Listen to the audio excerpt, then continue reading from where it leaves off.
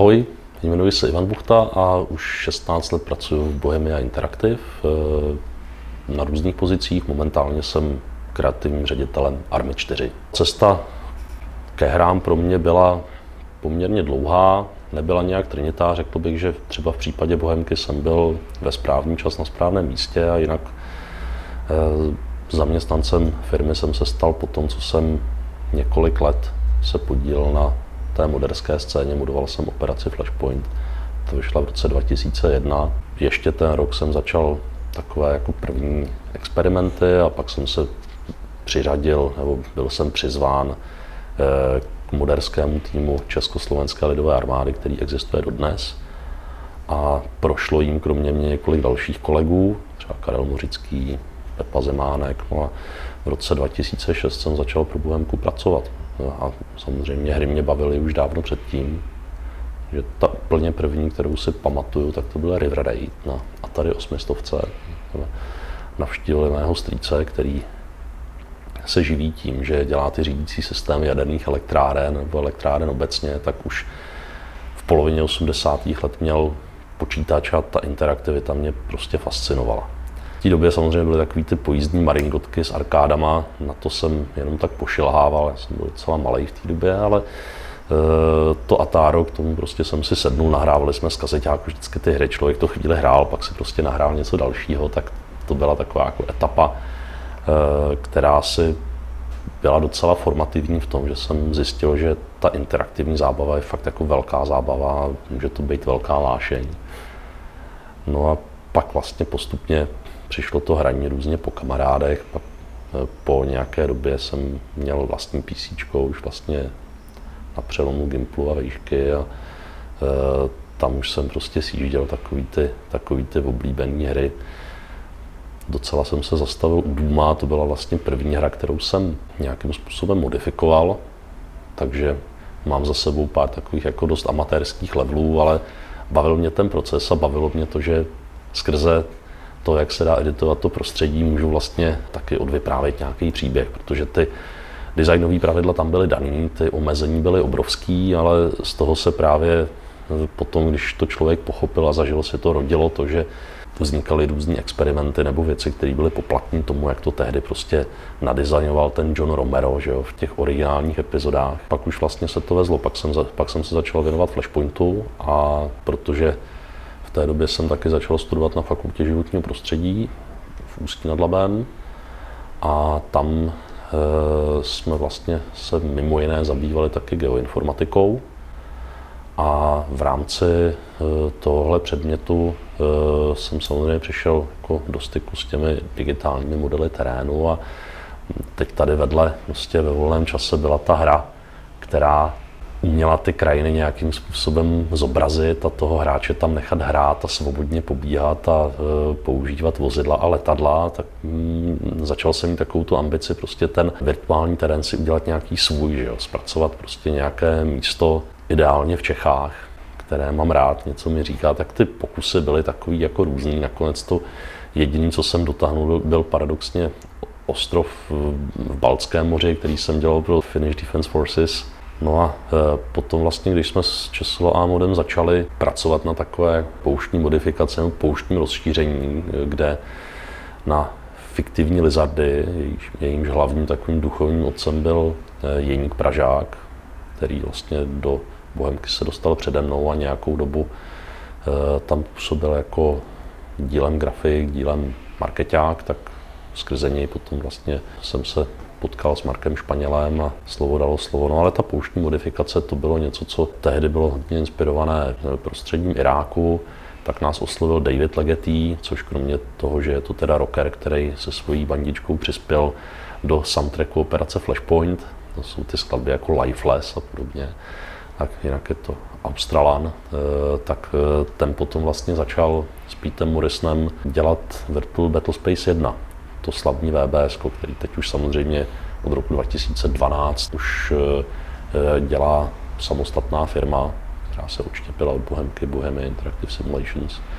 No a jim se líbily ty screenshoty, takže nás oslovili s tím, jestli bychom to nechtěli dělat pro ně, jako prostě součást Terrain Packu 3, takže jsme se tak jako, nechci říct, zprofesionalizovali, ale dělali jsme takovouhle zakázku, tak to samozřejmě člověku jako přinese hodně, včetně nějakého vhledu do toho, jak to dělá ta opravdická firma, ale to mě stejně připravilo spíš minimálně na to, jak to chodí v tom opravdickém vývoji.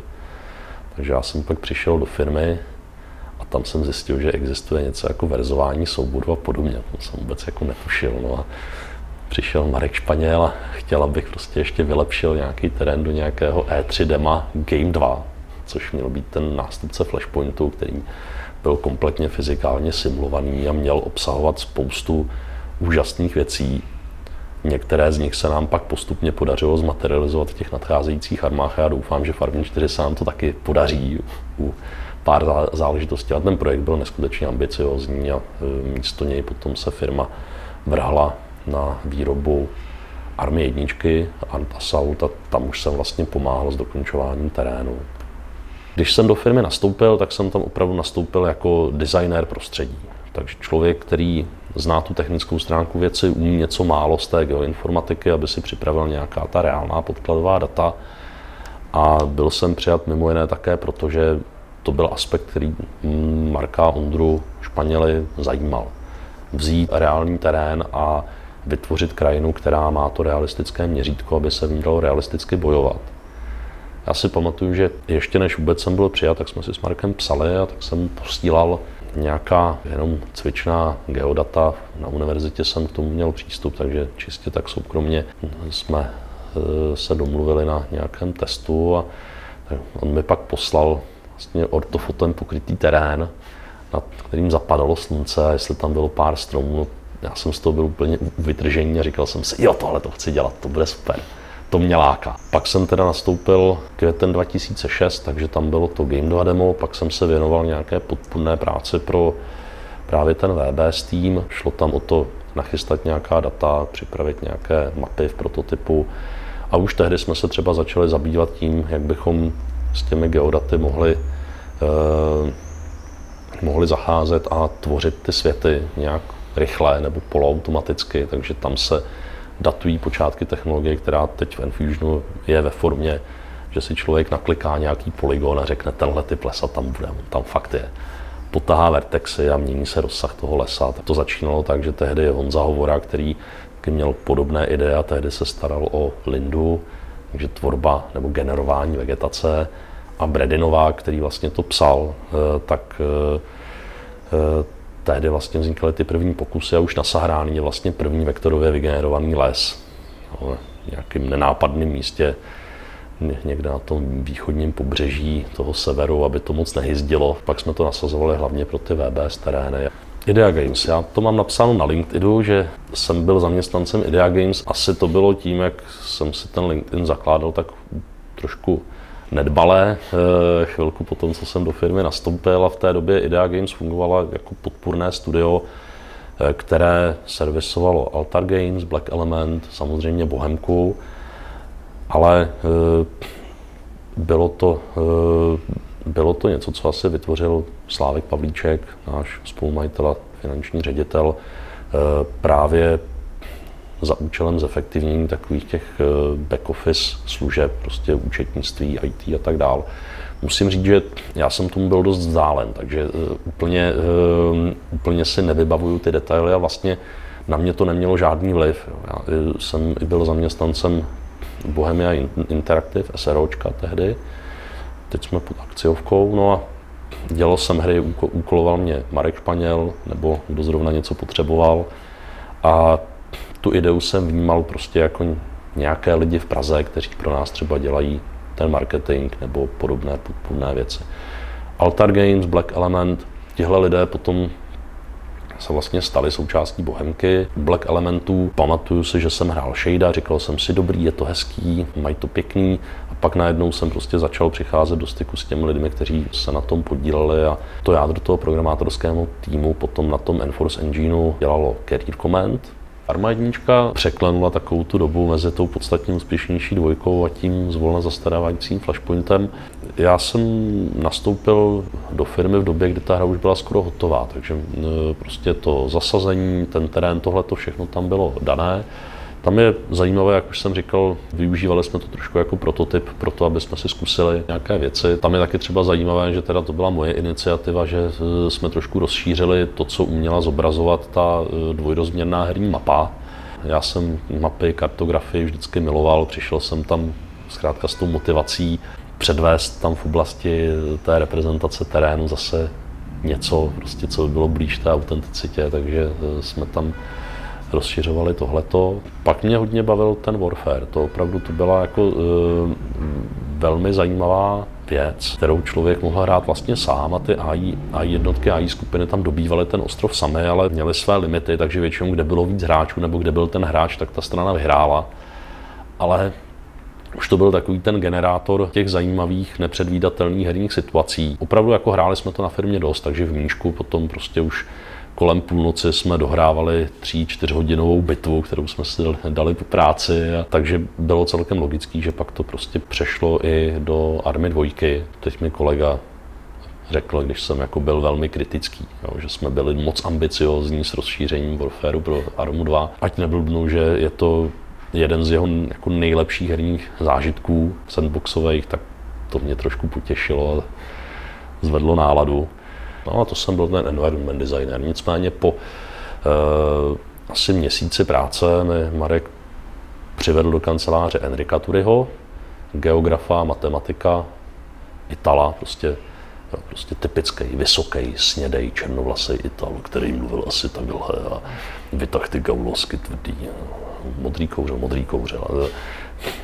Připal si pak tu gaulosku a, uh, byl hrozně takový pokorný a, a, a šikovný a prostě najednou já byl 26 letý elef a měl jsem velet prostě zkušeným 40 letým Matadorovi, tak to byla taky dobrá škola.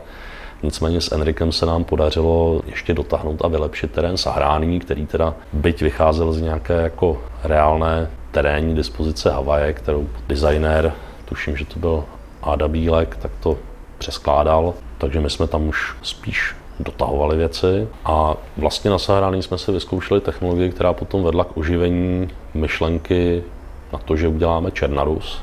Ta Černarus opravdu v tom prototypu vznikla, měla asi 5 na 5 kilometrů a bylo to území, které kdysi, když jsme se s Markem bavili ještě v rámci Game 2, kde právě měla být Černarus, Pakistán a Banda Atoll, takže nakonec opravdu postupně jsme udělali jak tu postsovětskou zemi inspirovanou teda českou krajinou, tak teda Afghánistánem inspirovaný Takistán, tak eh, nakonec, nakonec došlo i na to zelené peklo a sice když eh, brněnští designéři udělali tanou, takže ty myšlenky tam nějakým způsobem prostě eh, šly spolu s tou sérií a sem tam jsme nějakou oprášili a zrealizovali. No ale na té dvojce protože jak jsem vyráběl ten terén, který původně měl být DLCčkem pro Armu jedničku, až jednoho dne si nás Marek s Ondrou a řekli, tak, bude to Arma 2, zvětšíte Černarus, uděláme to na Xbox tehdejší a bude to všechno krásné. Tak úplně krásný to zpočátku nebylo, nicméně velmi rychle jsme teda tu Černarus rozšířili, nagenerovali tam vektorové lesy a tehdy s Honzou Hovorou jsme se domluvili, že to zkusíme udělat v tom podzimním hávu, to taky nebylo moc vidět tehdy. Takže t- takhle vznikla Černá Rus, ale protože jsem tam začal vymýšlet i to, jaké armády se tam střetnou a proč, tak nějak jsem se stal tím lead designérem, takže pak jsem byl nějak oficiálně jmenován a víceméně to zahrnovalo i tu kreativní složku, ale protože jsme byli malý tým, tak jsem taky dělal spoustu věcí, které dnes už dělají specialisté, nebo jo, to, že bylo potřeba někoho najmout, s někým dělat nějakou smlouvu nebo něco organizačně domluvit, na to máme prostě human resources, máme produkční a tak dále. Tehdy to opravdu probíhalo, takže co si člověk nezařídil, to neměl. Byla to výborná škola, celkem se někdy divím, že se nám podařilo tu armu dvojku vykopat. Byli jsme teda všichni asi velmi juniorní nebo naivní, ale velmi ambiciozní a velmi pracovití. Takže nakonec se podařilo udělat hru, která se dá hrát a nakonec i dohrát, teda, byť to bylo těsně. Dvojka eh, opravdu původně vznikla jako DLCčko. Černus měla být o něco menší. Byla opravdu asi jako těch 5120 x 5120 metrů a byl to jenom vlastně takový ten jeho východní roh té Černarusy, ale už tehdy jsme, to byl Markův nápad, využívali Labe jako vlastně takový předěl, takové to mořské pobřeží. A byla to vlastně mapa, která byla netypická tím, že ty dvě strany vlastně mířily dál do vnitrozemí, že to tam nekončilo jako ostrov, ale e, pak v návaznosti na tohle potom vznikal třeba ten procedurální terén, který jsme pak hojně využívali, protože třeba operace Arrowhead, rozšíření Army 2, tak přineslo tři terény, takovou jako malou poušť s nějakou vrtnou plošinou, 2 na 2 km, ten introostrov. Potom ten velký Takistán, vytvořený na základě geografických dat Bámjánu, to je ve středním Afghánistánu, tam jsou ty sochy, co je rozstříleli talibáncem, ty obrovský budové. Pak to byl Zargabát, taková jako, jako fiktivní městská mapa, o něco, o něco menší, tak ty jsou obklopený prostě horama, takže tam pak to všechno přechází do takový neutrální hnědý nebo pískový textury a tehdy vlastně nějaký známý Jirky Martínka nám přispěl touhletou technologií, že tom tam prostě je jako nekonečný terén. On to asi taky někde končí, nebo pak se z něj stane rovina, ale tam jsme nikdy nedoletěli. Dvojka taky e, byla hodně zajímavá tím, že vycházela z terénu, který jsem dost podrobně znal z reality. A byla to vlastně první hra, kde jsme opravdu jako využili ortofotky jako v plné palbě na v podstatě celý rozsah té herní mapy. Ne, že bychom je nepoužívali předtím, tehdy právě jiný Pražák na armě jedničce, když eh, tam přibyla ta technologie té satelitní supertextury, která pokrývala celou tu mapu, takže z dálky se nabízelo použít tam letecký snímek, ale jako různí kluci retušovali, dostalo se to tam docela pozdě, takže pak bylo potřeba tam rychle nějaký ten obsah vymyslet. Používal na základě taky asi nějaké mé drobné inspirace, ale tady jako si nechci připisovat nějaké zásluhy, protože on taky byl velký fan, fanoušek lítání, tak prostě ty letecké snímky mu, jako ten koncept mu nebyl neznámý, tak to tam prostě přenášel na pár míst. Ale to, abychom vzali opravdu jako kontinuální území a jednak jedného přenesli, tak to byla opravdu ta dvojka. Tam jsme to celé museli příšerně jako vyretušovat, protože jsme měli fotky z jara a se to odehrávalo na podzim. Zase vtipný bylo, že tehdy z Českého úřadu zeměměřického katastrálního jsme je dostali za pakatel. A já jsem ještě říkal, a my bychom potřebovali jako worldwide licenci, jako aby jsme tomu produktu jo, jasně, připlaťte si 65 korun, nebo takhle nějak to bylo. Jako ty částky si jako nepamatuju, ale byly opravdu relativně, relativně nízký. Ale eh, Černaru jsme vyrobili, docela hodně jsem hrál Stalkra, když eh, jsme dělali Černaru. Hrál jsem Stalkra, chodil jsem po Beskydech, takže jsem koukal na ty hluboké lesy, na ty zalesněné táhlé vysoké kopce, a do toho jsem tak nějak jako eh, věnoval čím dál větší pozornost té industriální architektuře. Eh, takže když potom, eh, když potom jsme dělali, dělali všechny ty věci, jak jsem hodně třeba koukal vlastně na to Ústí nad Labem, kde jsem vyrůstal. Dokonce některé ty budovy opravdu jako jsou udělané, jsme vytáhli grafiky, oni si něco nafotili a pak podle toho udělali třeba sadu takových těch dílniček, tak ta skutečně existuje v krásném březně v přístavu starém, nebo ten jeřáb, který tam je v těch přístavech, tak to je říční, říční jeřáb taky z, z krásnobřezenského přístaviště na Laby. No a, a já vlastně já jsem to pak ani, ani celý nestavil, já jsem postavil dvě lokace. A sice e, ta vesnička se jmenuje Lipová, ve hře to je Starý Sabor a tam je ta ikonická Eh, červeně zarezlá obrovská ta veliká stodola, že jo? Prostě součást eh, areálu JZD. Tak to jsem říkal, to kdyby nic jiného, tak tenhle ten landmark musíme mít. Ona je dost prominentní eh, i v té realitě, že ji prostě člověk vidí ze spousty míst okolo, z těch všech okolních kopců. No a pak jsem si postavil vlastně takový ten, takový ten kousek elektrozavodsku, kde pak vznikly ty první screenshoty a tam opravdu jako, tam je asi ta inspirace tím, tím Stalkerem hodně vidět. Dokonce vlastně ta kancelářská budova, tu nám udělal grafik, který se předtím na Stalkeru podílel. Já bych teďka nechtěl, aby to znělo, že jsme to nějak jako vykrádali. Bylo to opravdu, že jsem byl unešen tou estetikou a snažil jsem se jako po svém prostě s těmi našimi grafiky tam jako udělat něco podobného. Tenhle ten človíček nám teda přispěl tímhle testovacím modelem, Nakonec jsme se nedomluvili na spolupráci. Tam asi hrálo roli i to, že prostě přišel takový ten jako gotický grafik, prostě, který měl jako různý ty řetězy, kříže byl celý v černém, měl prostě černý dráty velký a, a teď prostě e, ta konfrontace potom prostě s tím zbytkem týmu byla taková vtipná. Ne, prostě se nějak, prostě se nějak nedohodli, ale jako díky tomuhle človíčkovi máme jako, jako ikonickou, e, ikonickou kancelářskou budovu, která tomu hodně pomohla. Pak kluci grafici třeba hm, řešili jsme, dobrý, uděláme, e, uděláme tam televizní věž. Já jsem prosazoval Bukovou horu Ústí, která je sice na druhé straně labé, ale vypadá opravdu pěkně. Ale grafici, protože kolem toho jezdili do Míšku z Prahy každý den, tak si prosadili cukrák. Takže takhle vlastně máme, máme ve dvojce a potom v Daisy tuhle tu pražskou televizní věž. A na té trojice to už se začalo mluvit o tom, že jsou i jiné role v game devu než programátor, designer a grafik. Jednak jsme vnímali to, že mm, opravdu je potřeba mít třeba specialisty na účko, takže Andrej Boleslavský, známý jako Jerry, opravdu se pak vyprofiloval jako člověk, který se nám staral o to UI. Byli tam kolegové, kteří se věnovali marketingu a už i v tom grafickém oddělení se profilovali lidi, kteří měli spíš ten charakter art, lidi, kteří měli tu vegetaci dotahovat.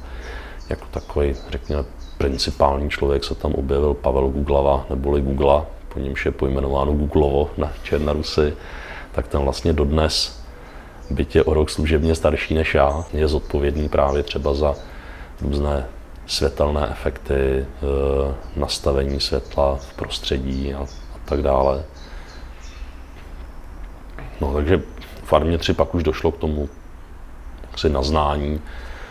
No jo, vlastně je tady i nějaká kreativa, e, nějaká osoba, která říká, co tam vlastně bude, takže jsme do firmy přijali ten titul creative director nebo creative lead a pak se to nalepilo na vodného, na vodného člověka. Ale Bohemka asi nikdy nebyla takové to typické studio, kde by ty role byly nějak striktně vymezeny, protože ta arma se zkrátka v mnoha ohledech dělá jinak. Nevím, jestli bych uspěl třeba ve studiu, které dělá mobilní hry nebo nějaké klasické RPG, nebo v podstatě cokoliv jiného v téhle té roli. Prostě ta, ta arma vyžaduje určitý specifický přístup. Arma 3 v jeden moment, eh, nebo ta hra, která pak byla Arma 3, tak v jeden moment to taky mohlo být RTS s mimozemšťanama, tak eh, mělo třeba na tohle rozhodování vliv právě úspěch toho Daisy modu a toho, že se Arma 2 začala prodávat? Tak... Začátek Army 3 se datuje ještě do doby, než eh, přišlo Daisy, nebo než jsme o něm věděli a ty prvotní úvahy o téhle hře vycházely z toho, že se začne dělat eh, v tom brněnském studiu, které mělo zkušenosti právě s tou svou herní trilogií UFO, která si eh, kromě českých hráčů, tak určitě prostě eh, si to našlo své publikum i v zahraničí a je to jedna z jejich nejúspěšnějších her nebo herních sérií. Tehdy to bylo takové jako asi spíš manažerské rozhodnutí, padlo to, že no tak v Brně umíte ty mimozemšťany a teď tam máte i tu produkci grafiky pro Armu, tak to zkuste spojit a zkuste udělat nějaký prototyp. Takže opravdu jako zpočátku jsme uh, přemýšleli o tom, že by to byla taková jako bojová hra, která by trošku čerpala z mechanismu army, ale byla by nastylizovaná jako nějaký real-timeový boj s možností přepnout se do těch jednotlivých vojáků nebo vozidel. A prostě taková jako sci-fi hybridní střílečka e, spojená s RTSkem tyhle koncepty jsme fakt velmi brzy opustili. Já se musím přiznat, eh, vůbec mi to nesedělo. Takže ne, že bych proti tomu jako vystupoval nějak aktivně, ale prostě to tam nepadalo. Takže jsem byl rád, když jsme mohli eh, potom eh, zkusit trošku jiný přístup a pak jsme vymysleli, že se na ten Altis dostane právě ten kapitán Miller, který se pak stal tím slavným NPCčkem, které vede tu hráčovou postavu toho svobodníka Kerryho.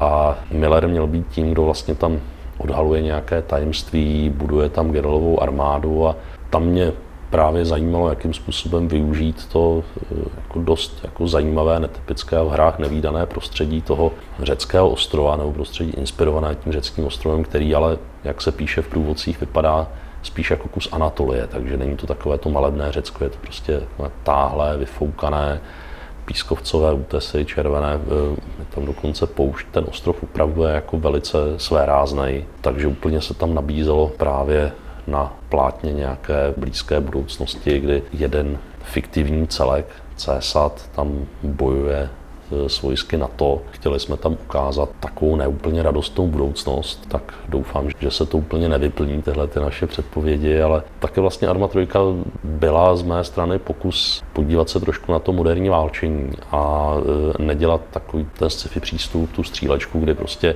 všichni mají nějaký paprskomet, ale spíš objevovat to, jak by do army zapadly koncepty jako chytrá munice, beznábojnicové střelivo, různé eh, digitální kamufláže a tak dále, drony. Že jo. Ukázalo se, že eh, my jsme predikovali, že v roce 2035 ten dron bude mít prostě asi metra půl v průměru. Teď prostě dron se vejde do kapsy a co je, co je zajímavé, opravdu se to teda stalo eh, něčím, co na těch bojištích má poměrně rozhodující spravodajský vliv, ale mnohem víc věcí jsme tam i třeba z důvodu nějakých technologických limitací nebo vůbec toho, že to bylo, že to bylo i tak dost, tak jsme tam prostě nedostali.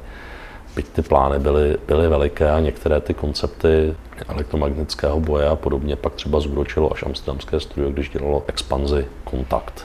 Arma 3 opravdu jako vznikala takhle zvláštně, než se usadila v tom, že by to měl být ten vojenský sandbox a jako vojenský sandbox už potom to bylo jako, jako jasnější. Byť jsme se snažili tam přidat nějaké věci, které dílem vycházely z toho, co měl umět ten kapitán Miller v tom postapu RPGčku a dílem, eh, dílem právě z té ambice eh, podívat se, jak by eh, vypadalo takovéto bojiště blízké budoucnosti v podání army.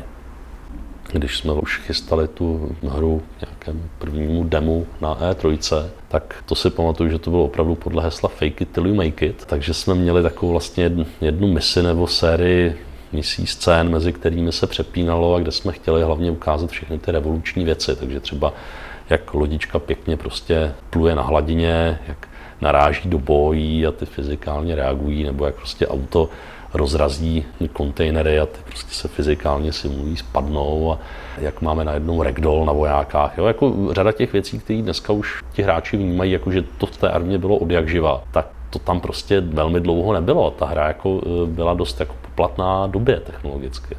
Jako bylo tam to jádro té hratelnosti, ale té prezentaci to nezřídka prostě nechci říct pokulhávalo, ale zkrátka ty věci tam nebyly, protože nebylo, kdo by je udělal, nebo e, nebylo, jak toho dosáhnout v nějakém jako rozumném časovém rámci. Taky tam byla velká omezení výkonu.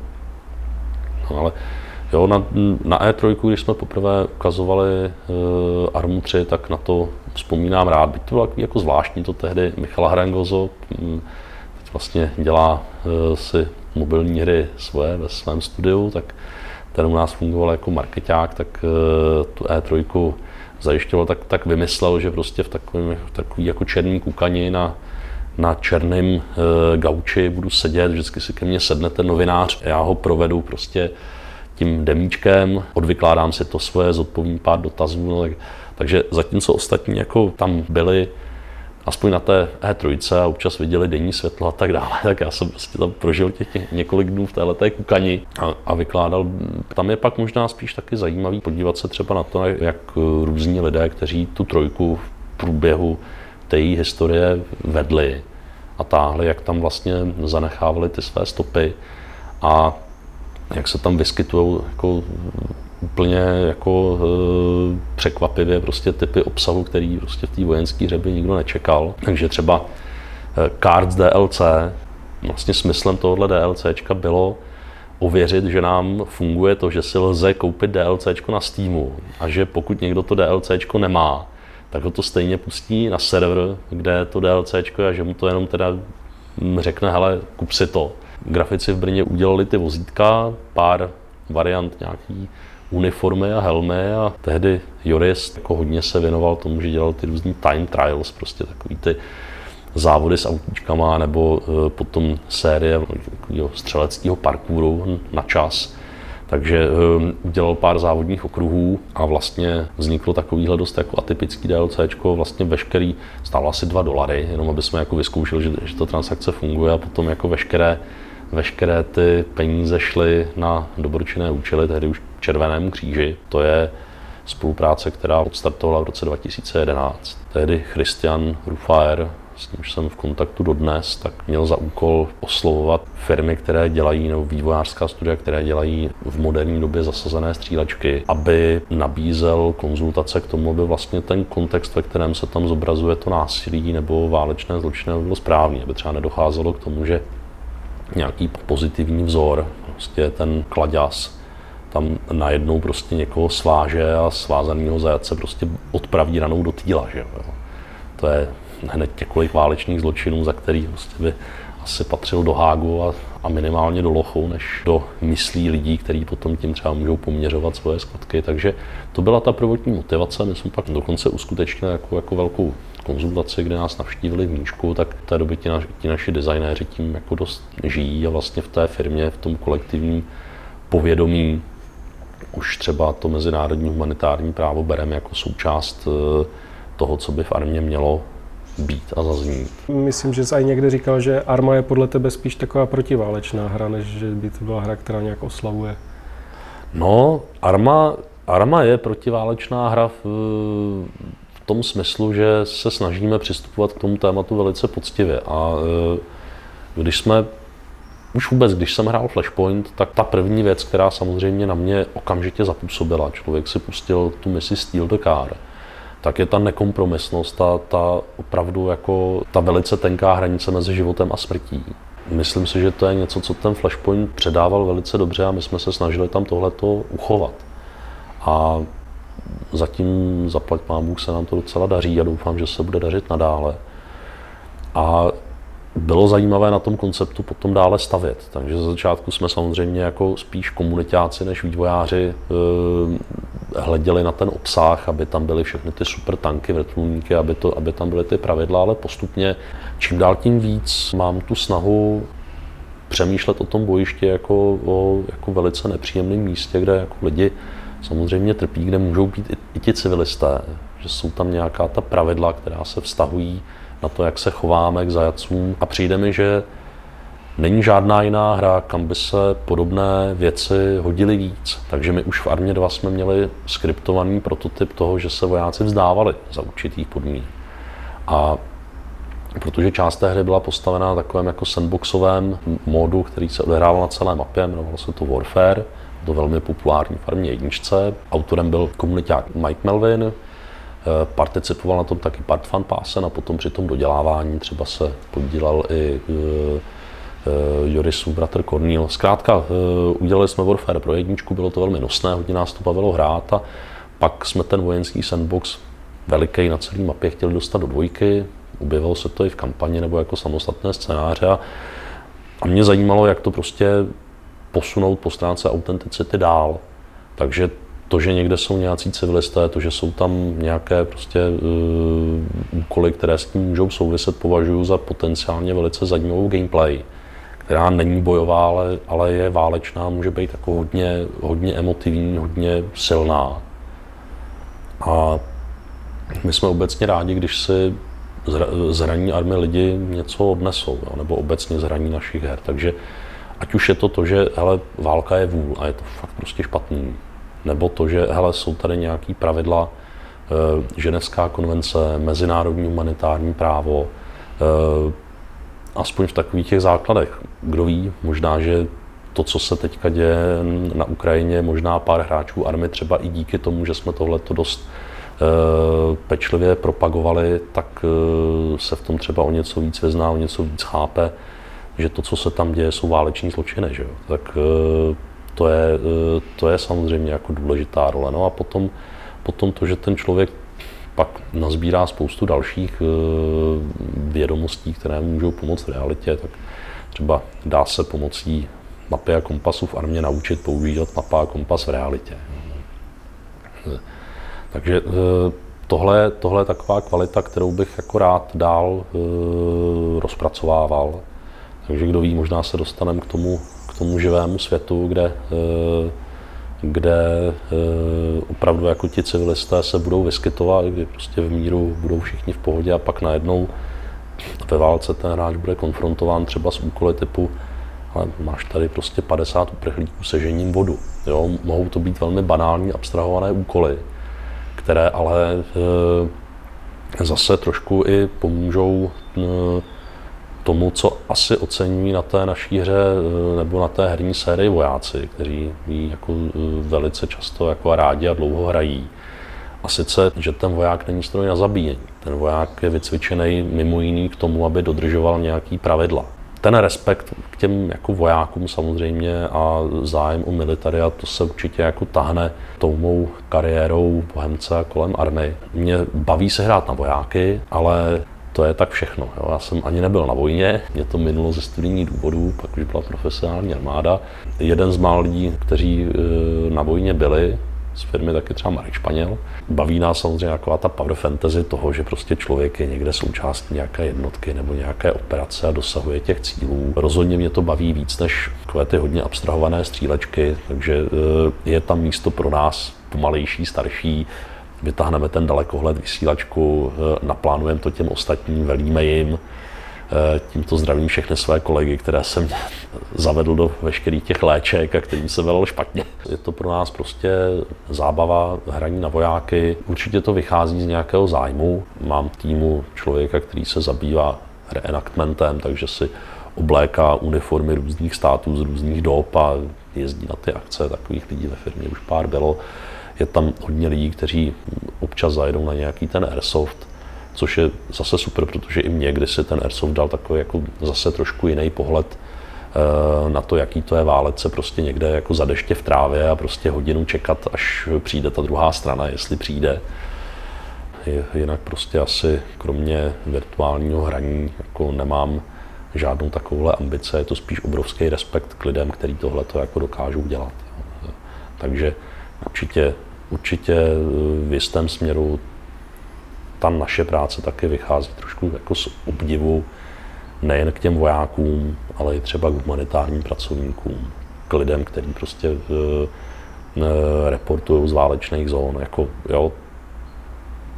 Takže tak trošku ve skrytu duše doufám, že ty naše hry trošku přispějí k tomu, aby jako lidi si uvědomili eh, hodnotu eh, některých těchto povolání a, a taky to, aby eh, prostě jako naznali, že opravdu jako válku fakt radši ne, děkuje. To zprávě říkal, že jste v jeden moment i měli rozpracované DLC válečného fotografa. Pro Armu 3 vlastně vzniklo to DLC Loss of War, které velice zajímavým způsobem zachycuje různé aspekty toho, jak to funguje po stránce humanitární pomoci a jejího poskytování eh, v bojových podmínkách. Trošku už předtím se otřela ta naše soutěž Make Armored War pro moderskou komunitu army, kde byla ta speciální cena vyhlášená ve spolupráci s Mezinárodním výborem Červeného kříže, tak nakonec prostě to vyhrál autor mise, kde s neozbrojeným vrtulníkem vyzvedával raněné prostě z různých bojových situací. Samozřejmě tenhle ten aspekt, jak už jsem říkal, zajímalo nás to vždycky hodně jako takové prohloubení toho arma zážitku a ten amsterdamský tým, který se věnoval konec teda produkci Lost of War, tak samozřejmě začali tím, že brainstormovali spoustu nápadů, takže kromě toho humanitárního pracovníka tam byl ve hře právě třeba válečný fotograf, válečný reportér, což by asi taky vydalo na velice zajímavé DLC. Nicméně vždy, když něco takhle děláme, tak vážíme efekt, produkční náročnost, nosnost nějakých těch nápadů a ideí, tak zkrátka z toho porovnání tomu týmu nakonec eh, lépe vyšlo to obecnější DLC, takže vzniklo Loss of War a myslím si, že je to jedna eh, z těch součástí 3, které rozhodně stojí za to si zahrát. Když už eh, teďka mluvíš o tady tom tématu, tak vlastně Bohemka je docela rychle po tom, co začala válka na Ukrajině, tak eh, udělala i ten charitativní balíček, ne? Myslím, jo, jo, ale určitě, určitě prostě jsme nebyli jediní a určitě byli i rychlejší, to jako to vím, ale Eh, to bylo, to bylo tak, že hm, prostě hm, řekněme, že na té individuální úrovni, protože máme třeba jako eh, ukrajinské kolegy, máme ruské kolegy taky, že jo, ty se s tím taky jako vyrovnávají jako špatně, protože to jako nejsou, nejsou žádní magoři a prostě jako člověk, který žije v západní Evropě nějakou dobu, tak asi chápe jako eh, to jádro problému. Tak ta individuální úroveň pomoci byla jako prostě od začátku velká. Jo. Prostě snažili jsme se to nějak jako u, i ukoordinovat, tak e, prostě tam bylo potřeba něco dělat. Jo. Částečně asi z nějakých terapeutických důvodů, prostě jako buď člověk může jako sedět a po, dívat se na ty šílené zprávy a nedělat nic, anebo prostě se aspoň zaměstnat tím, že aspoň někomu aspoň trošku pomůže. No a e, pak jsme se vlastně dohodli na tom, že takováhle forma pomoci bude asi jako nejúčinnější, protože ono jako jasně vyvěsili jsme po kancelářích QR kódy, aby lidi mohli prostě posílat peníze třeba ukrajinskému velvyslanectví, které to pak používá, nebo humanitárním organizacím, jo, prostě Červený kříž, se kterým spolupracujeme, člověk tísni, jo, celá, celá řada. Prostě byli lidi, kteří si pak jako zorganizovali, domluvili se prostě ohledně nějakých potravinových sbírek, nejezdili jsme nikam jako na, na hranice, myslím, že tam jako velice brzo prostě převážela nabídka nad poptávkou, ale e, potom jako řada z nás třeba nabídla ubytovací kapacity, ať už krátkodobě nebo, nebo na díl. Prostě tam jako nejde, nejde nic nedělat. Že? Máme, máme teďka pár ukrajinských kolegů, kteří prostě u nás našli dočasné útočiště. Není to jako, že bychom prostě někde vytahovali celá oddělení nebo tak, ale pokud můžeme pomoct jednomu člověku, pokud můžeme dělat aspoň málo, tak je to, tak je to lepší než nic. Ale uh, rozhodně, rozhodně jako bych nechtěl, aby to vyznělo, že to je nějaká jako PR marketingová aktivita. Jo? Tohle bylo opravdu o tom poskytnout třeba i té naší komunitě možnost přispět a my jako firma bychom to zastřešili nějakým smysluplným způsobem, protože nám to tak prostě přišlo správně. To jako říkám, ne, nebylo, nebylo jiné cesty, než se k tomu postavit takhle.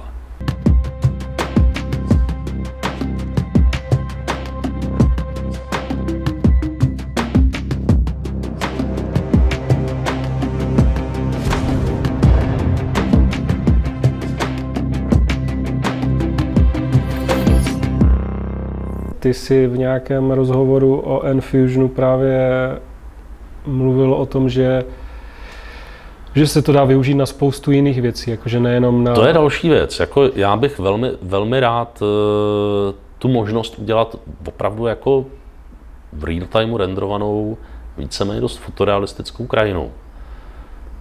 Strašně rád viděl jako nějaký nástroj, který lidi nevyužívají jenom jako herní platformu, ale mm, já nevím, k výuce, k terapii, eh, k nějakým prostě rozvahám. Jo. Eh, nevím, jestli jsem to někde v nějakém rozhovoru říkal, ale třeba byl jsem v kontaktu s lidmi, kteří chtějí dělat nějaký model, eh, model efektů sucha v krajině. Jo. Takže představa, že prostě mám dvě verze vesnice a jeho okolí, tady jste udělali opatření a má to takovýhle vliv, takže tady máte nějaký mokřat, tady vám něco chcíplo, tady vám něco vyrostlo, versus tady jste opatření neudělali, tak situace je prostě jiná, tady máte nějakou erozi. A e, ne jako ta platforma, kde by se to počítalo samozřejmě, ale, ale jako ta platforma, kde se to zvizualizuje. E, to samé, protože krajinou chodím rád, tak jako i vnímám, co do ní přibývá, co jako vzniká nebo co zaniká. Tak architektonická studie, kde prostě můžu se podívat, ano, tady bude svítit prostě e, sluníčko, tady to bude pěkný a tady nám vzniká takový blbej, hluchý prostor, hele lidi, chceme to takhle v naší vsi nebo nechceme, jo. E, a pokud ty nástroje budou jako dostatečně e, dobře zvládnutý a budou využívat třeba i nějakých standardních formátů, což třeba s tím FBX pro ty 3D moduly se dost daří, tak poměrně rychle. I člověk relativně neznalý prostě může opravdu v těch tůlech to udělat, pak jenom prostě se přepnout do runtimeu, proběhnout se tam s nějakým defaultním vojáčkem, což takovéhle nástroje by asi měl nějakého defaultního civilistu, nějakou prostě příjemnou paní, která tam jako proběhne. Jo, tak eh, je vždycky fajn, když jako nejsme jenom prostě ty baviči. Jo. Já, já jsem dokonce prostě fakt jako jednu dobu říkal, že bych jako, že hry jako dobrý, super koníček to hrát, super koníček to modovat, ale že bych byl rád, aby to mělo nějaký význam, to, co děláme. Tak i proto asi ten Mezinárodní červený kříž, i proto e, různý jako kontakty mimo, proto mě třeba hrozně těší, když nám prostě píšou lidi, kterým Arma nějak pomohla.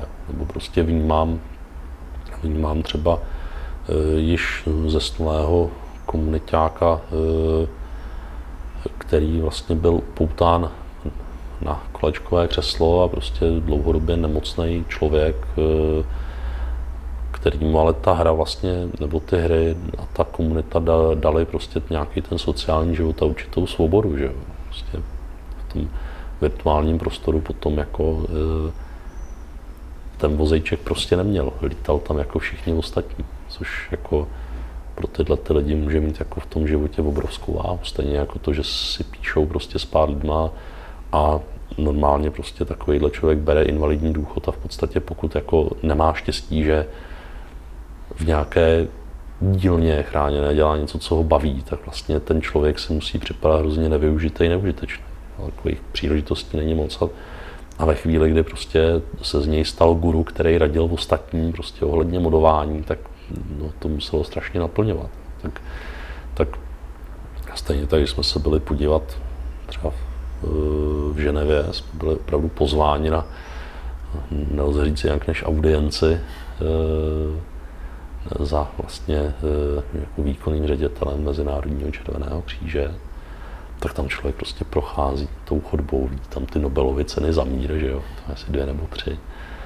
A e, pak, když jsme slyšeli z jako těchto lidí, ale jako děkujeme prostě za pomoc, asi prostě ten, ten efekt, který třeba jako mají ty vaše hry, nebo to, co jste dělali, nebo k čemu jste nám je prostě propůjčili, tak to prostě zachraňuje životy. Tak e, to jsou pak ty momenty, pro který, pro který žijeme. Kromě toho, že všichni žijeme pro ty release parties. U té trojky třeba bylo zajímavé, kolik věcí si prostě z toho starého engineu nesla, nesla tím, že se vlastně pořád jelo na tom starém engineu a akorát se vždycky něco trošku upravilo a že třeba kamera jako po smrti, ne, po smrti vojáka byl jako Racek v podstatě v té hře. No, a, a eh, tím pádem ten Racek měl 20 kg a když někdo změnil váhu Racka, tak rozbil tu kameru a takové. To, to jsou různé anekdoty, které se vztahují k tomu, jak ta uh, real virtuality uh, postupně vlastně poháněla, uh, poháněla všechny army až do trojky včetně a uh, měnila se nám, tak říkajíc, pod rukama. Samozřejmě některá ta technická řešení jsou dost jako zvláštní, takže zmiňovaný Eh, zmiňovaný skript na, na kameru je poměrně primitivní a v nezměněné formě tam byl velmi dlouho. Eh, stejně tak eh, potom to, že tam je Racek a Racek, aby zatáčel, tak v kontextu té fyziky, která prostě počítá s tím, že jsou tam vrtulníky letadla, které váží řádově tuny a na to je to celý nastavený, najednou musel mít prostě fakt jako těch 20 nebo 50 kg. To, Eh, to, jako, to je fakt, to prostě, ale furt jsme na to, myslím, ještě líp než eh, Fallout, kde eh, prostě ta, ta kabinka toho metra je hlava nějakého prostě hm, charaktera, že jo? nebo jak jsem, jak jsem teďka zaznamenal na Twitteru, tak designéři na nějakém projektu, bohužel si nepamatuju, na jakém neměli, neměli možnost jak prostě měřit čas, jak dělat nějak, nějaký, nějaký spoždění akcí až eh, jeden tester si všimnul, že vlastně eh, se dá čekat, až veverka přehraje prostě nějakou animaci nebo nějaký zvuk, takže prostě pak měřili čas eh, a prodlevy dělali na prostě počet těchto těch veverčích akcí. Jo. A čekali, až veverka něco udělá, takže pak ve spoustě cutscén a, a podobně, nebo těch skriptovaných eventů měli neviditelnou veverku, která ale prostě hm, třikrát prostě uh, udělala si to svý a teprve pak, se spustil, uh, spustilo něco dalšího.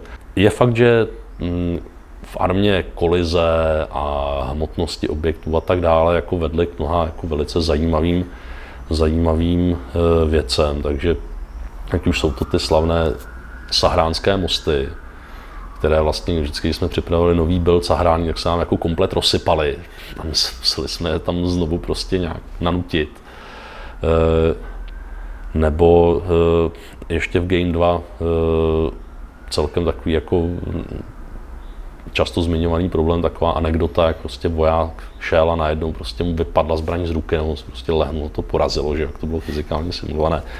Tam byly mouchy a zase moucha, aby správně zatáčela eh, v té, v té fyzice, tak taky měla nějakých jako 30 kg. Aby ty poloměry zatáček se tam prostě dařily. Jo. Tak eh, prostě, když do někoho prostě křícne 30 kilová moucha, tak je jasný, že ten kulomet prostě z těch rukou vypadne. Jenom, jenom prostě najít tohleto jako chvíli trvalo. Ale to jsem teda, to jsem teda jako nezažil, to znám opravdu z vyprávění. Eh, tak eh, možná je to opravdu anekdota, nebo až eh, někdo z veteránů Bohemky promluví ke Game 2, tak, tak to zmíní víc. V té, v té trojice už ten posun k tomu produktu byl, byl mnohem větší, ale, ale samozřejmě ta hra tím, že je otevřená, je to sandbox a ty koleze jsou tam někde takové, jaké jsou, tak člověka vypeče. Jo. Takže Jasně, že eh, když jsem ukazoval eh, na nějaké akci, jak skvěle máme nadizajnovaný sandboxový scénář, kde nám jako eh, schodí někam do lesa letadlo bednu, kterou pak můžu prostě najít, protože je zhruba zakreslená do mapy, můžu si z ní vzít nějaké vybavení navíc. Tak v životě ani předtím, ani potom, ani při testování se nám to nestalo. Nicméně zrovna v tento moment bedna s padákem se zachytila o nějaký strom, zakolidovala, nespadla, padák se nevypnul. A já jsem na to koukal a rychle jsem prostě švenknul tou kamerou jinam. No a to, prostě tam byste si vzali ty zbraně. A teď se podíváme na něco jiného, protože tam už nebylo pomoci. Tím, že vlastně to celé vychází z toho Poseidonu, který byl původně koncipován zase jako RTS, kde se buď to bude jezdit tančíkem nebo lítat vrtulníkem, tak ono je to v mnoha aspektech, třeba na tom Flashpointu, to je jako hodně viditelné. Postupně se to tak jako ztrácelo, ale uzná ta řešení, jako třeba, že zbraň vlastně neexistuje jako zbraň, ale že je to zásobník určitého typu přiřazený k nějaké té entitě, tak to vedlo třeba k tomu, že my jsme nemohli té zbraní říct, tak teď máš třeba v komoře zásobník navíc.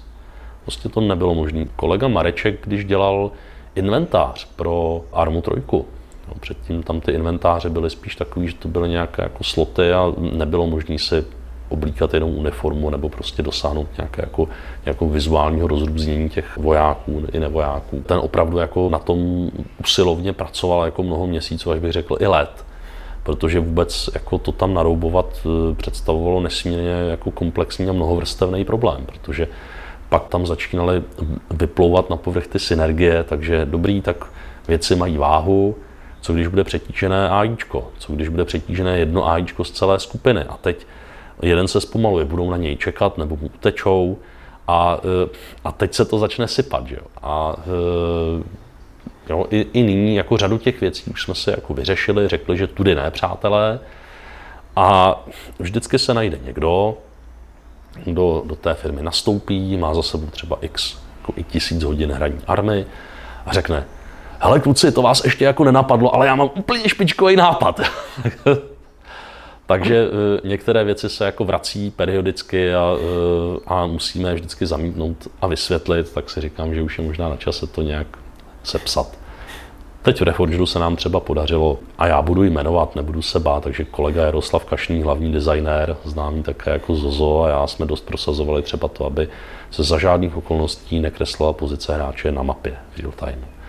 Aby nebyl kurzor, a aby, i když máme teda nějakou tu krátkodobou únavu, aby se to nezobrazovalo zbytečně hráči ve formě nějakého prostě toho pásku, tak jsme vydali Reforger, vydali jsme nástroje, vydali jsme dokumentaci, ještě to ani nebylo komplet. A samozřejmě jedny z prvních modů byly přidání crosshairu, přidání fatigue baru, který ukazuje tu únavu a má oblíbená pozice hráče na mapě vždy a za všech okolností.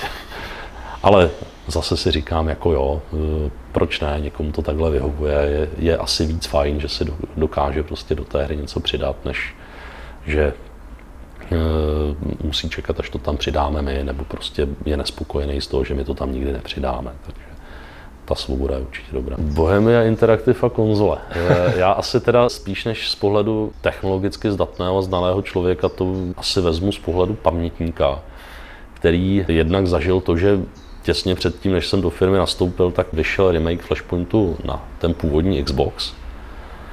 Takže Flashpoint Elite já si pamatuju jako hru, kterou jsem si potom krátce zkusil a ta je zajímavá hlavně tím, že část té technologie, takže různé ty normálové mapy, klatr, taková ta tráva na zemi, nebo trošku lepší modely potom se staly základem té technologické větve Real Virtuality Engineu, která potom vedla k armě jedničce, ale to je to je asi něco, co opravdu eh, by potvrdili nebo vyvrátili Ondra Španěla, Jirka Martínek, případně Honza Hovora, kterého jsme zmínili off record. Potom Arma 2 vznikla nebo byla vyhlášena s tím záměrem, že vznikne také na ten nový Xbox, Xbox 360 a opravdu si pamatuju, že jsme hráli ten UTS, takový ten malý doprovodný intro ostrov Army 2 na Xboxu, že to mělo velice uh, silný alpha to coverage efekt, takže vegetace měla krásný objem, byla taková jako rozmitá ve větší vzdálenosti to působilo opravdu jako zajímavě, pěkně, docela jsme se na to těšili, ale ta konzole asi neměla úplně výkon na to, aby tu Armu 2 vůbec byla schopná nějak utáhnout. Kromě toho nebyli jsme úplně zkušení, co se týkalo toho, čemu se říká UX, User Experience, takže nějakým způsobem jsme doufali, že se to na ten ovladač všechno vejde a spali jsme do té hry všechno možné a nemožné. Takže tím výsledkem nakonec bylo, že Arma 2 na Xboxu nevyšla, protože se to zkrátka nepovedlo.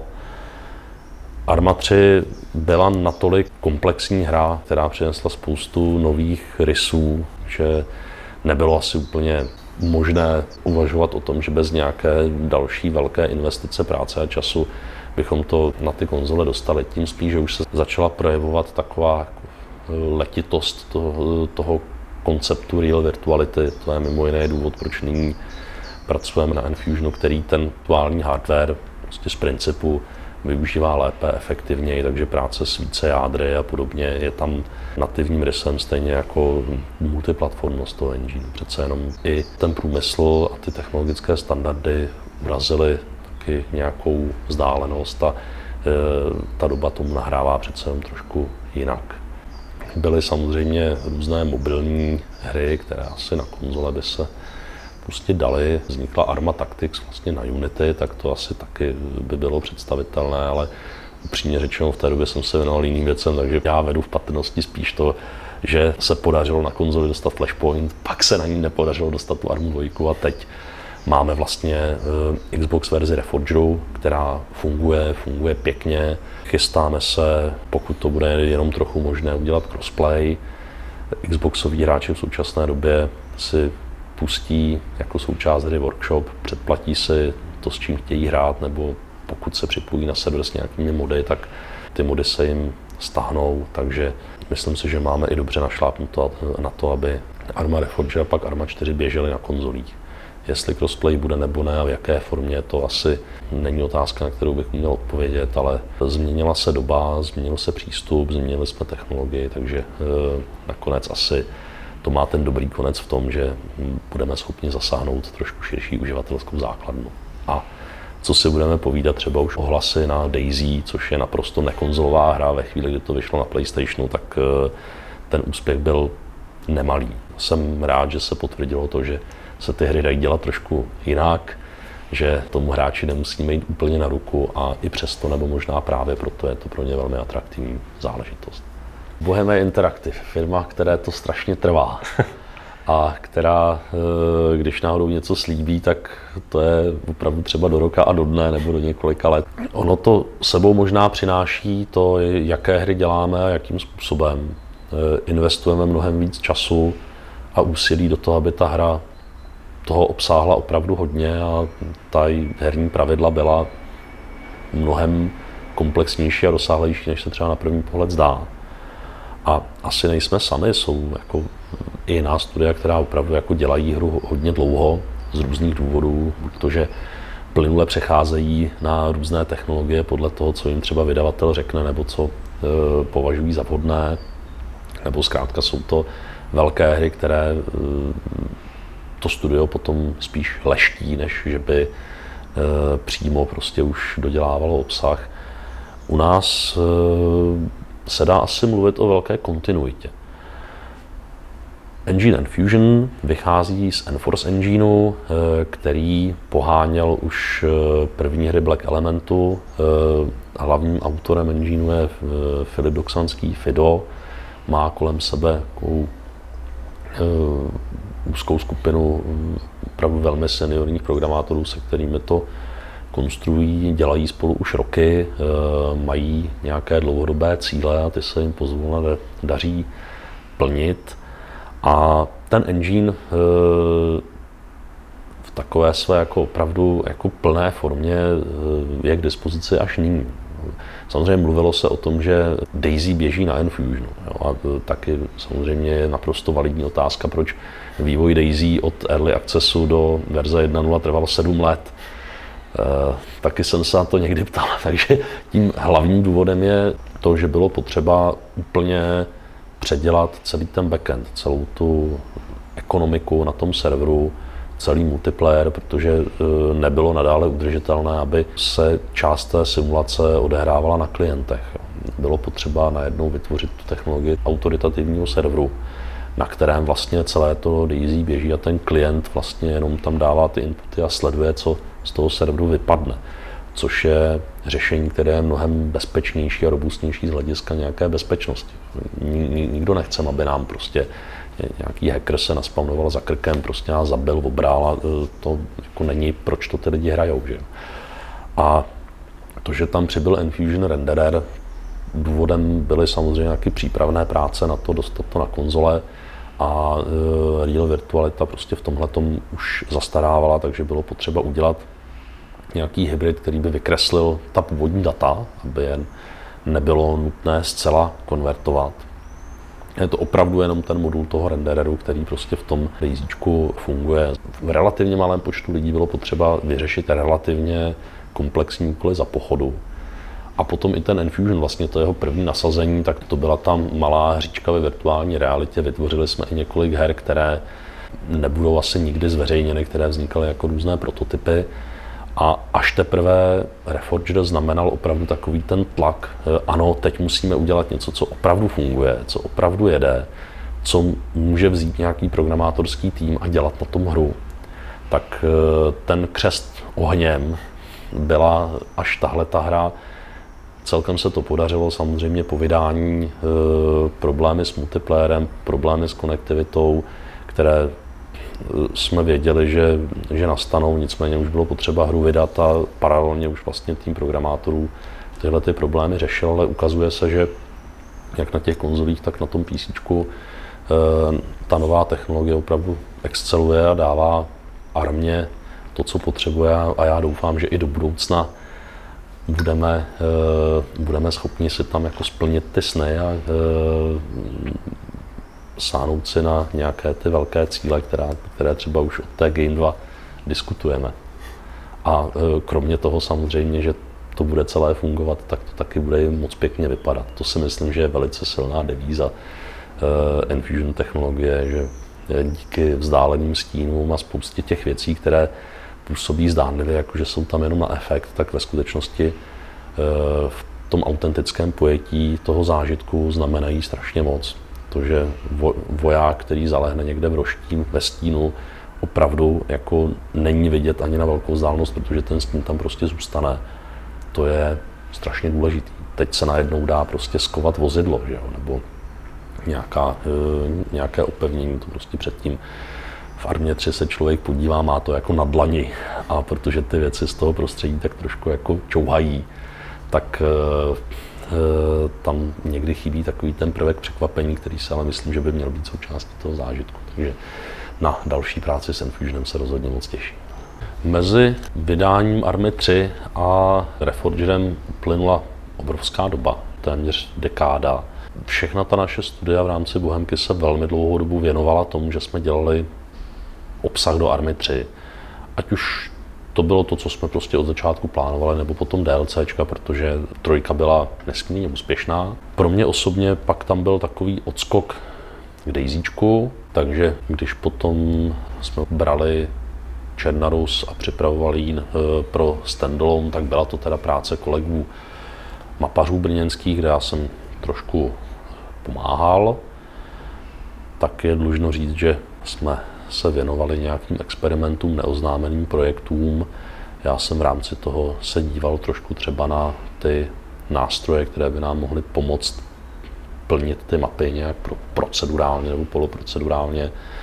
Takže ve spolupráci s velice šikovným programátorem Markem Novosadem jsme nakonec udělali interpreter vektorů, teda udělal ho on, já to ide- ideově zastřešil, nějak jsem to testoval a udělal jsem do toho ikonky. Používali jsme to potom jednak třeba na Tanoe, to znamená, to je ta eh, Apex DLC, ta tropická mapa, kde brněnští kolegové terénáři, Martin Pezlar, Petr Sedláček, Radim Vítek, to používali třeba na generování pralesů. Zajímavá z tohoto hlediska byla Livonie. Tak pro mě taková jako velká kapitola, nebo vlastně dvě kapitoly, byly terény Malden a Livonie, které se objevují v Armě Trojce, Livonie jako součástku Kontakt DLC, Malden, který vznikal pro Argo, což byla PvP střílečka odvozená z technologie Army 3, nicméně byla to taková jako standalone hra s osekanými daty. Tyhle, ty, tyhle ty dva terény vlastně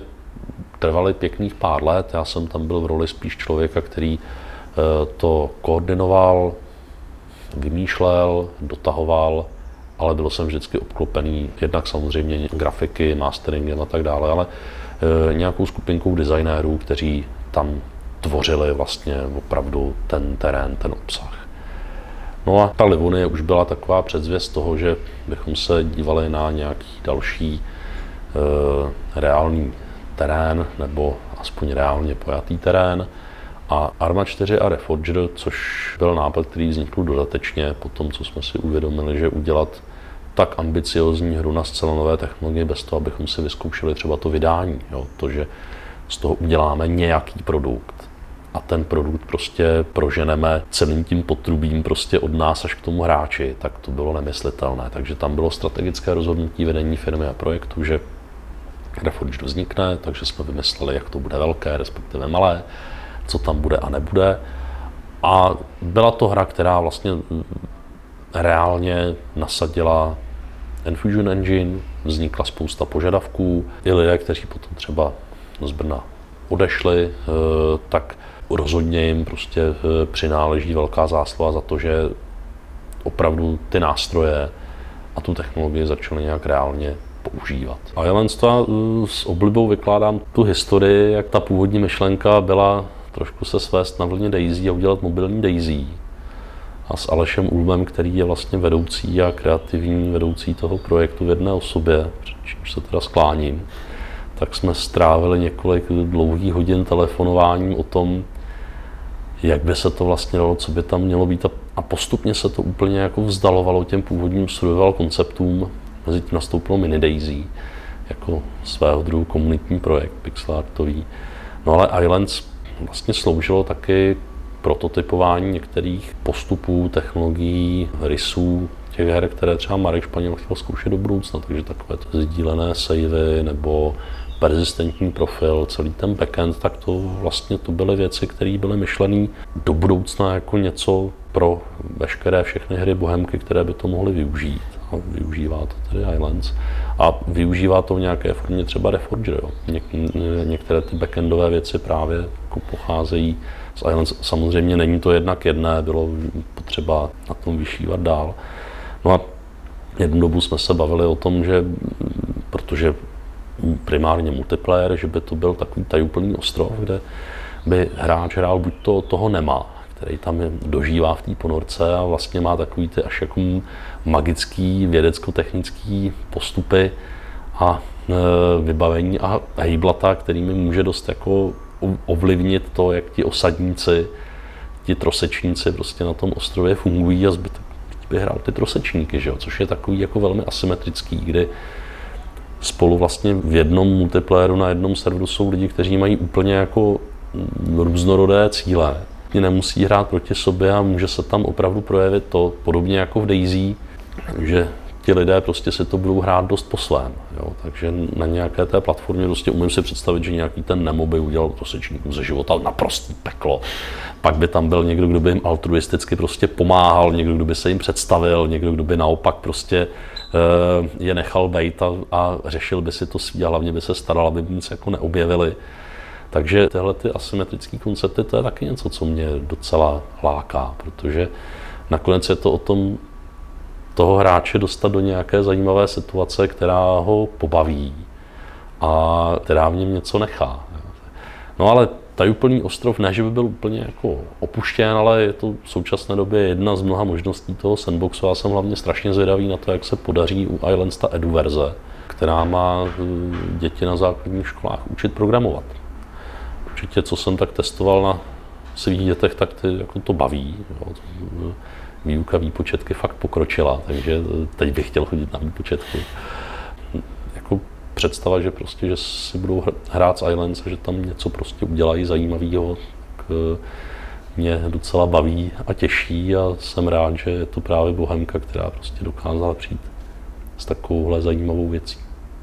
Já se možná vrátím k tomu Argu, Armago. To je výsledkem nějaké snahy vytvořit na základě dat army PvP střílečku, dát trošku jinému typu hráčů nějaké zajímavé hraní založené na armě, se kterým bychom neměli tolik práce. Spojilo se to s tím nápadem, že bychom stále mohli vytvořit nějaký ostrov, kde by vlastně ty jednotlivé lokace sloužily potom pro ty PvP bitvy. Spojilo se to i s tím, že vlastně ve firmě začal působit jako development director Jarek Kolář, Vlastně taky byl účasten toho, když jsme dostali grant na vývoj nějaké PvP e-sportové střílečky.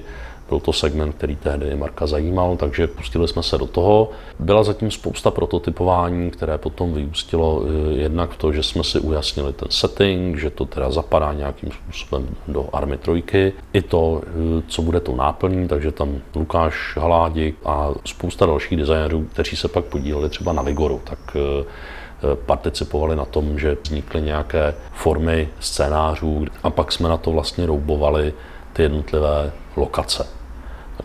Takže Jarek Kolář přinesl do firmy nějaké větší povědomí o nějakých metrikách prostředí, o e, nějakém e, balancování těch scénářů. Byla to rozhodně zajímavá kapitola. Pro mě osobně byl zajímavý hlavně ten Malden. Tehdy pár internů, jeden z nich dnes pracuje v amsterdamské pobočce, další třeba pracuje v Ubisoftu Berlín, tak Nedávno jsme si volili, jak jsme vzpomínali na to, jak jsme pinožili Malden. Další velice talentovaný kolega Jarda Řízek v Ashbornu, tak opravdu jako těm klukům se podařilo udělat nejenom ty jednotlivé lokace, ale ještě to propojit do té funkční krajiny, díky čemu jsme to pak mohli nasadit i vlastně jako zdarma nový ostrov, remake vlastně ostrova z Flashpointu do Army 3. O tom remakeu jsem vlastně uvažoval poměrně brzy po tom, co Arma vyšla, protože ta středozemní architektura tak nějak jako nahrávala tomu, že bychom ten Malden pomocí mohli stvárnit. Potom samozřejmě přišel ten, ten Everon, jako eh, terén, který veteráni znají, který nějakým způsobem zapadá do toho, kam by se mohla ubírat Arma 4, vizuálem, settingem, eh, byť se ještě uvidí. Eh, a zároveň je to ostrov, který už představuje nějakou jako poměrně rozsáhlou krajinu, ale z našeho pohledu to není moc velké takže nám to připadlo takové zvládnutelné. No a jako součást Reforgeru vznikal ten terén, vznikal dlouho. Myslím si, že kdybychom si za současného stavu těch nástrojů řekli, jo, uděláme tuhle mapu v téhle té kvalitě, v tomhle detailu, tak to vznikne podstatně rychleji, ale velký čas ten tým věnoval vlastně tomu, že se ty věci učili nebo že čekali na nějakou technologii, že vznikaly nástroje, vznikaly postupy, Čili je tam určitě potřeba vidět taky ten čas, který byl věnován tomu výzkumu a vývoji. Nakonec prostě Reforge je úspěšný a teď nás samozřejmě ještě čeká ten remake Kolgujevu. Byla ta třetí legendární mapa z Flashpointu a to, a to uvidíme, do toho se možná zase pustí komunita, jak už bývá dobrým zvykem.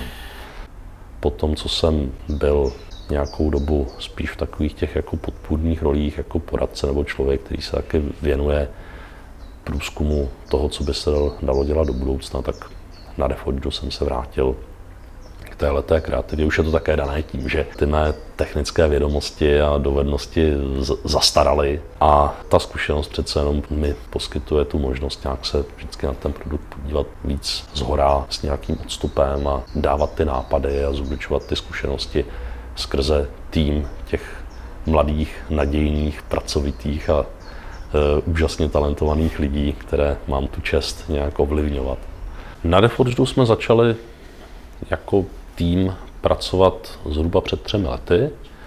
Tomu předcházelo i nějaké plánování a úvahy o tom, jaká by měla být Arma 4 a to je projekt, o kterém jsme se začali bavit zhruba roku 2017. Reforger, jak už jsem říkal, vzniknul tak, že jsme potřebovali nějaký mezikrok, abychom si uvěřili, že jsme schopni na Infusionu udělat funkční hru a abychom zároveň získali nějaký herní základ, na kterém by třeba bylo možné do budoucna cokoliv prototypovat. Protože na rozdíl od předchozích arm, my jsme vlastně třeba neměli ten luxus toho, že bychom měli tu předchozí armu, která nějak fungovala a dalo se to prototypovat na ní. Takže jsme si museli vytvořit tenhle ten, tenhle ten mezikrok a odladit na něm takové ty nejzákladnější mechanismy ovládání charaktera, ovládání vůbec, nějaký rámec toho runtimeu, eh, data, datovou strukturu.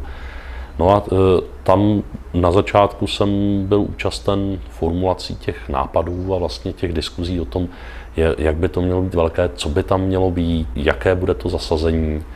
Už jsem to nedělal sám, na rozdíl od spousty těch předchozích projektů, protože na Armě Trojce se vyprofilovala řada velice kvalitních lidí, ať už to byl ten environment nebo třeba narrativní design Scott Ellsworth, který vlastně participoval na těch zajímavějších DLCčkách Armě 3. Takže v nějaké chvíli jsme se domluvili, že to teda bude rok 1989, ta studená válka, abychom navázali na ten flashpoint, protože interně jsme si řekli, že to bude prostě back to the roots, zpátky ke kořenům a Marek Španěl to původně myslel jako návrat k tomu, že ten Flashpoint byl pojatý víceméně dost herně a synergicky a nebyl tak rozkročený. Jo, v Armě 3 je to na jednu stranu super, sednout do stíhačky a mít tam radioelektronický boj a pak se prostě někde plíže, tam mít prostě zbraně s tlumičem a, a termální vidění a cokoliv mezi tím dělostřelectvo, formace, velení, je to všechno okolo typu 3D editor nebo ten Game Master nebo Zeus, jak se to jmenuje v Armě 3. Je to strašně moc, takže jsme si to potřebovali zase zúžit a na té nové technologii začít prostě z čerstva a věnovat se těm důležitým věcem a udělat je správně. Já jsem si říkal, když už teda back to the roots, tak by bylo super prostě se podívat zpátky do té studené války, protože to je období, které na rozdíl třeba od té army trojky tam nebudeme mít za chvilku pocit, že vlastně nám uniká spousta těch věcí, které do toho moderního bojiště patří a které my tam nejsme schopni dostat, protože už ta míra interakcí mezi těmi prvky by byla taková, že by to bylo nezvládnutelné a ta hra by se prostě rozsypala. Takže i tohleto zúžení toho zaměření tomu jako prospělo. No a uvažovali jsme o různých terénech, včetně toho, že jsme diskutovali ostrovy z Flashpointu nebo, nebo Nogovu, eh, tehdy právě Petr Kolář, Peťka říkal, a ono by možná nebylo špatný tam dát Everon, což jsem nakonec sám rád musel uznat. Když jsme to přednesli Markovi Španělovi, tak ten samozřejmě nadšeně souhlasil. Má to pak tu výhodu, že ten Everon byl vlastně nejbližší k tomu, čím jsme obklopeni. Je to ta česká krajina, řekněme, vysoce abstrahovaná realita toho Československa v 80. letech, tak jak to bylo představené ve Flashpointu. Bylo kam sát, bylo kde se inspirovat a třeba i pro ty zahraniční kolegy, já nevím, ve Vigoru, kde jsme dělali to Norsko, tak v Norsku bylo pár lidí a nikdo vlastně jako nevěděl, jak Norsko vypadá. Pak nám nastoupil norský kolega a vysvětloval, že to, co máme ve Vigoru, vlastně vůbec není Norsko, že to vypadá jinak. Tak jak vypadá skutečné Norsko, se můžete podívat i trošku na Everonu, že to pobřeží teda vytvářel tenhle ten designér. Teď, ať už je to prostě francouz, slovinec, Němec, můžeme říct, ale ano, toto je ta naše krajina, takhle to vypadá, hele, tady je starý barák, takováhle prostě pekelná mumítka opravdu existuje, opravdu jsme si to nevymysleli. Takže nechávají se prostě takhle skrz tu realitu do toho vtáhnout a pak eh, samozřejmě i oni podstatně lépe chápou to, co třeba v oblasti toho vizuálu se snažíme dosáhnout. No a teď, když je vlastně Reforger venku, tak máme s ním samozřejmě nějaké další plány. Je to důležité pro komunitu, aby se dostala do kontaktu s tou novou technologií. Máme v plánu dodat tam ještě pár věcí, ve hře jsou vrtulníky, bavíme se třeba o minometech. Obecně bychom chtěli trošku doplnit takový ten sandbox o další pravidla, další možnosti pro hráče. Samozřejmě dotáhnout, eh, dotáhnout některé featurey, opravit chyby a taky trošku se třeba poslechnout komunitu, co by ocenila, než eh, jim budeme schopni dát Armu 4, což určitě bude práce minimálně na několik let. Že vy jste vlastně v Reforgeru využili i nějaké textury, jako třeba značek ještě z Flashpointu, ne? Jako, no, uh, Reforger tím, jak z Flashpointu čerpá, tak celkem logicky jsme se dívali na to, co v tom Flashpointu vlastně je. A ono to tam toho tolik není, ale jedna z těch věcí, které to dobově i místně dost ukotvují, jsou právě ty dopravní značky. A my jsme nedávno objevili v Míšku zapadlý šanon se zapadlými obálkami s analogovými fotkami, které sloužily po naskenování jako vzory pro textury eh, do Flashpointu. Takže ve, Flashpointu opravdu jako spousta těch textur vznikla tak, že někdo na kinofilm vyfotil techniku, vojáka, barák, značku, pak se to naskenovalo, poretušovalo ve Photoshopu mocné a tím taky vzniká takový ten, jako t, ten originální výzor, ten look té hry, který jako není úplně jako uh, typický pro tu dobu. Asi trošku srovnání to snese třeba s Hidden and Dangerous 2, že jo, který hodně využívalo právě textury někde prostě nafocených v prostředí.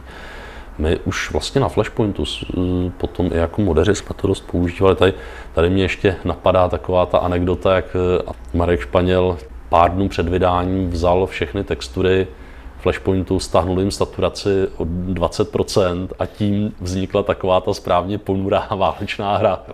Když jsme našli ty fotky, tak vlastně nebylo potom kde jinde brát rozumné referen- reference, protože dopravní značky není něco, co by si lidi třeba jako fotili a dávali si to na rajče, nebo co by prostě Google vyplivnul. Když už tak je tam spousta nabídek dopravního značení současného, to jsme úplně nepotřebovali. E, takže pár naprosto mizerných fotek a pak jsme našli tohleto a na základě vlastně e, těchto snímků, jako 9x13, ale nicméně vidět je tam docela dost, takže když se to naskenuje ve vysokém rozlišení, tak jako podklad pro tvorbu textury v nějakých těch pokročilejších nástrojích dobrý. A hlavně jsme z toho byli schopni odvodit ty proporce a mimo jiné jsme si vytvořili písmo. Takže díky tomu, že teď máme ty grafické designéry, tak opravdu pánové sedli a máme Como Sans, náš osobní fond, kterým děláme takové ty cedulky typu e, zákaz skládky nebo nepovolaný vstup zakázán. A pak máme teda, pak máme teda dva řezy písma pro dopravní značení vlastně pro začátky konce obcí. To je ta jedna bílá cedule červeně přeškrtnutá a potom ty modré značky s tím žlutým nebo bílým písmem na ty křižovatky. Takže Monty nějak 3 km doleva, tak to vzniká zase tímhle fontem. Kromě toho jsme tam vylovili značné množství původních fotek věcí, které se do Flashpointu dostaly a které třeba kolega, který se našel v tom, že vlastně schraňuje reference a postupně ve hře rekonstruuje různé stavby Československé lidové armády, tak eh, potom, eh, potom dokonce eh, i tyhle ty fotky teda mu pak posloužily, protože vznikaly vlastně v 90. letech, kdy těch reálí 80 v té krajině bylo ještě poměrně dost, tak teda potom mohl to, mohl to takhle použít a vzhledem k tomu, že spousta těch areálů dneska už prostě nestojí, využívá se jinak. A tam, kde náhodou něco přežilo, tak buď je z toho nějaké muzeum, kam se nesmí, nebo je to prostě v soukromých rukách, nebo to prostě už jenom to, že to prostě zarezne, zaroste, nebo to někdo natře, protože tam prostě skladuje brambory, ale už to není původní, tak prostě jakákoliv taková reference se nám velice hodí. Jaké pro vás bylo vlastně to ovládání smrsknout na jeden ovladač s několika tlačítky.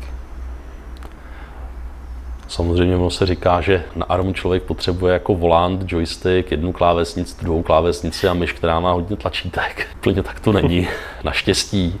Ale z, napojit ARMu 3 na ovladač samozřejmě jako velice složitý. A když jsme začínali tvořit Reforger, tak eh, nám bylo jasné, že se musíme k tomu ovládání začít chovat jinak. Bylo to do velké míry pro nás pole neorané. Byly různé tendence jako zahrát si jiné hry a koukat na to, jak to mají ostatní. problémy, že ti ostatní tam toho nemají tolik, co my. Na druhou stranu je eh, možné si říct, co ten hráč opravdu potřebuje a kdy od něj nějaké ty věci můžeme odstínit. Změnili jsme formu interakce s prostředím a dá se říct, že s limitem ovladačů jsme od začátku počítali.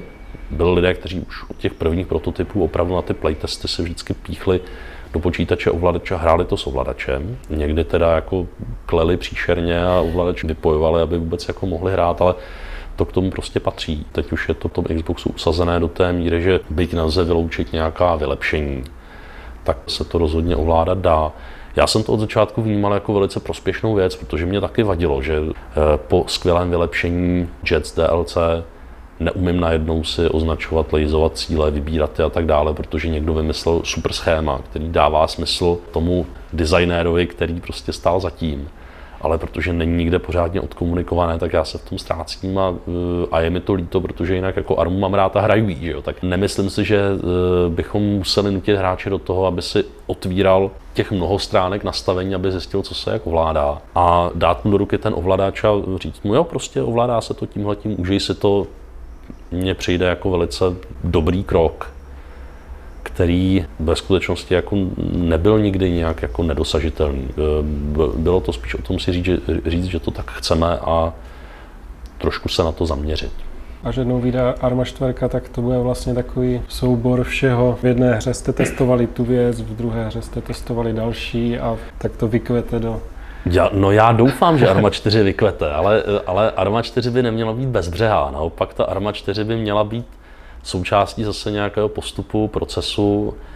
Ta firma nějak roste, rostla živelně, teď eh, roste asi více strategicky a určitě eh, to, že si něco vyzkoušíme a pak to nasadíme, to je něco, co jsem si na té armě trošku osvojil. Takže třeba ta Livonie vznikala s tím, že jsem uh, už měl jako velké zkušenosti, věděl jsem, co chci, nechci, bylo to na usazené technologie a bylo možné prostě to nějak předat tu vizi. A fakt se to docela pěkně povedlo. Ale to byla zase jen příprava na to, že jsme potřebovali si testovat, jaké nástroje budeme potřebovat třeba v Enfusionu a uh, jak by mohl vypadat terén Army Reforger a do budoucna prostě jakým způsobem přistupovat k terénům třeba Army 4 a e, takhle je to se vším. Prostě ten backend, který je zajímavý. Musím říct, že v tomhle směru mě strašně baví spolupracovat s Markem Španělem, protože on je jako byť takový nenápadný, tak je velký vizionář. E, velmi jako realisticky, pragmaticky uvažující člověk, který ale prostě před sebou má i ty jako velké vzdálené cíle. Takže být jako součástí nějakého velkého procesu, kdy ta Arma 4 samozřejmě pro nás znamená hodně pro mě konkrétně je možnost nějakého jako vyjádření něčeho, dokud jsem ještě v plné síle na to, abych to jako nějak zvládnul stát. A zase se na tom něco naučit, zase se posunout, vytvořit si třeba vrstvu lidí, kteří si něčím prošli, nazírají na ty hry už jako jinak a zase posunout to prostě dál. Jo. Od nějakých statických arma světů po hru, která bude více službou a bude třeba nabízet mnohem interaktivnější, živější svět až pak třeba do budoucna potom po uh, nějaké úplně jiné téma, úplně jiné jádro té hratelnosti, na které se vrhneme. V minulosti v Bojence byly takové experimenty, prostě asynchronní multiplayer, kde se prostě hráči vraceli v čase a tak. Takže uvidíme. Rozhodně doufám, že Arma 4 bude držet pevně pohromadě, že to bude především funkční produkt, který ale po stránce obsahu nabídne těm hráčům roky zábavy a dobrou platformu pro to, aby se tam užili všechny ty mody a zase než přijdem s něčím novým, aby jim to těch třeba těch 10 let vydrželo. Arma 4 je opravdu jako velmi vzdálená a asi bychom prostě se nenamáhali s tím vydávat Reforger, pokud by měla přijít za půl roku. Kdy přijde a v jaké formě, o tom asi není na místě se nyní bavit. Nicméně Reforger chápeme jako hru, která Samozřejmě nyní nemůže konkurovat Armě 3. Jo. Jsou různé ty, hlavně ty Milsim skupiny, 60 se připojí na server, mají perfektní organizaci a takovýhle hráč, ten má prostě už nějakou tu skladbu adonů, které mu tam jako dělají ten zážitek, který my třeba v té hře neposkytujeme. Už jsou na to zvyklí a tihle ti lidé prostě budou Armu 3 hrát ještě v nadcházejících letech. Ale jsou tady ty modeři a jsou tady lidi, kteří prostě zkrátka už chtějí to zpestření, a pro ně je tady Reforger. Je to hra, která eh, tu moderskou komunitu může nějakým způsobem uvést do toho, eh, jak se moduje ta nová technologie. To je pro nás naprosto klíčové a kritické, aby jsme jim teď opravdu poskytli maximální podporu. a zároveň máme opravdu ambici dosáhnout toho, aby se Arma 4 dobře hrála. To konzolové publikum e, řadu věcí úplně neodpouští. A e, asi i já jako hráč Army, který už je starý, něco zažil, tak chci svůj komfort, chci válčit s jinými virtuálními vojáky a nechci válčit s ovládáním a nastavením, tak e, myslím si, že když Eh, budeme věnovat pozornost i tomu, co nám říkají hráči teďka o Reforged jako produktu, jak se jim to ovládá, hraje, jak se to chová, jak to funguje, tak nám to dává obrovskou možnost to potom zúročit a Arma 4 při vydání může být eh, úplně jiná hra úplně jiné bohemky, takže to nebude prostě zabagované, ale to už jsou taky víceméně spíš takový, eh, takový anekdoty, ale že ta hra opravdu od začátku bude dávat smysl a bude poskytovat zajímavý zážitek. A e, myslím si, že e, zatím tento cíl se nám daří plnit. Feedbacku máme hromady, mody vznikají, e, průběžně to měníme podle toho, co nám kdo hlásí, říká, Eh, myslím, že můžeme být spokojeni a vděční za to, že se tenhle ten strategický krok podařil. Mhm. Tak jo, tak eh, díky moc eh, za rozhovor, za to, že jsi řekl o své kariéře, o armě a budu vám přát, se vám teda daří dál s Reforgerem a práci. Bylo mi děkuji moc.